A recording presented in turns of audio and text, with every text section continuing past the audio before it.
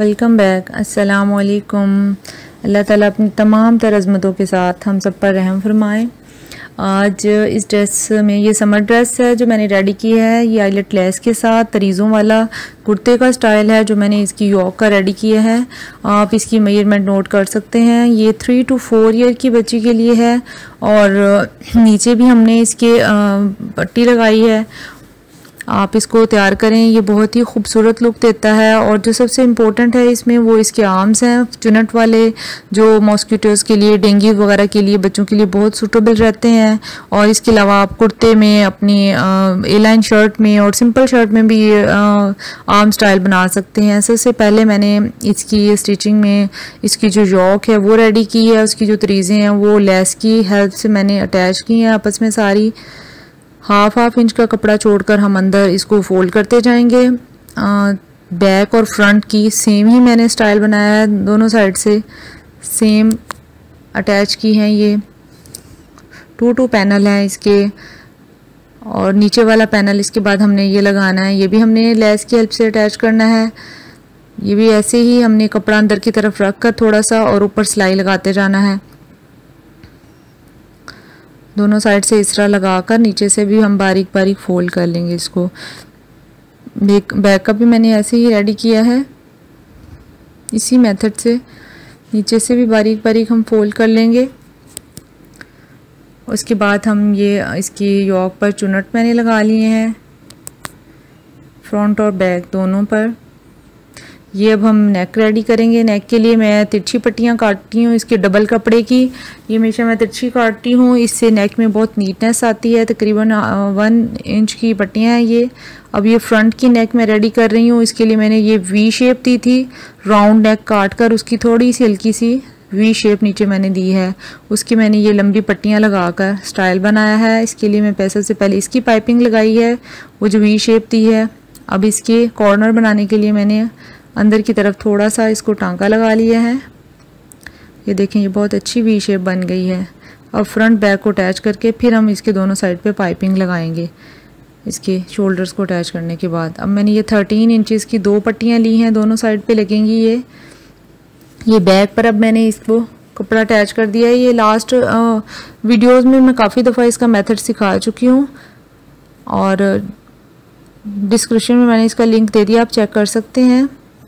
इसके लिए आपने इससे पहले हमारा चैनल सब्सक्राइब नहीं किया तो चैनल सब्सक्राइब करें। हमारी वीडियो को अगर पसंद आता है, मेथड तो शेयर ज़रूर कीजिएगा। लाइक के बटन को भी दबाना है और बेल आइकन को ज़रूर दबाइएगा ताकि हर नई आने वाली वीडियो आप तक ज़रूर पहुँच सके। अब ये मैंने दोनों साइड से ये पट्टियों को, ये बहुत लंबी थी, इसको थोड़ा सा छोटा कर लिया है। अब इसको हमने सिलाई लगा ली है। अब ये दोनों साइड से मैंने ये पाइपिंग अटैच कर ली है।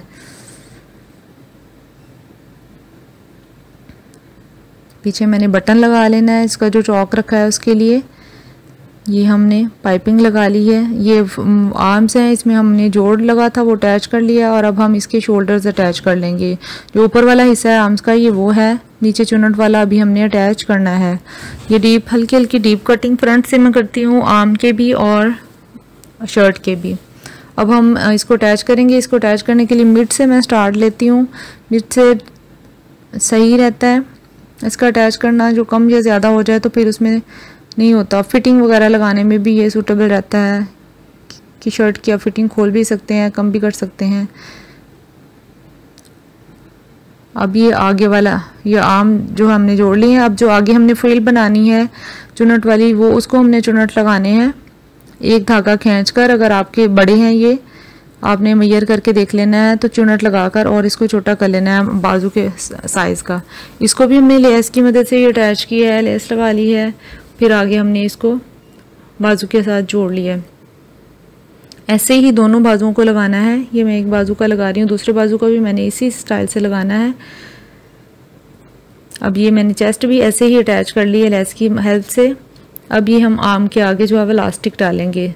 टेन इंच मैंने लिया है इसका। यहाँ पर हम अटैच कर लेंगे पहले इसको सिलाई की हेल्प से। अब हम ये डबल फोल्ड करेंगे कपड़ा डबल करके। ये साथ साथ सिलाई लगाते जाना है, लेकिन इतना मार्जिन रखना है कि हमारा ये लास्टिक नीचे ना आए। थोड़ा सा एक्स्ट्रा रखना है कपड़ा आगे की तरफ़। लास्टिक को खींच खींचते जाना है। इसको खींचते जाएँगे तो पीछे चुनट आते जाएँगे। ये एंड तक हमने एंड पर आकर भी इसको खींच कर ऊपर सिलाई लगा देनी है ताकि लास्टिक हमारा यहाँ पर फिट हो जाए। अब ये चुनट आ गए हैं। अब हम साइड से इसकी शर्ट की फिटिंग लगा लेंगे। फ्रॉक की। ये बहुत खूबसूरत स्टाइल है। ये भी इंजन का स्टाइल है। आप इसको ज़रूर ट्राई कीजिएगा। समर ड्रेसेस के लिए ये बच्चियों को बहुत ही खूबसूरत लगता है, सूट करता है। आप किसी भी एज की बच्ची के लिए तैयार कर सकते हैं। ज़रूरी नहीं है छोटे बच्चों को ये अच्छा लगता है। बड़ी बच्चियों के लिए भी सूटेबल रहता है। अब ये दूसरी बाजू भी मैंने ऐसे ही बना ली है। ये मैं यॉक अटैच कर रही हूँ। यॉक भी मैंने ऐसे ही अटैच की थी। बताया था आपको कि लेस की हेल्प से। ये लेसेस का बहुत, ये इन है स्टाइल बहुत ज़्यादा। हमारी शर्ट रेडी हो चुकी है। अपना ख्याल रखिएगा। हमें भी अपनी दुआ में याद रखिएगा। ठीक केयर। अल्लाह हाफिज़।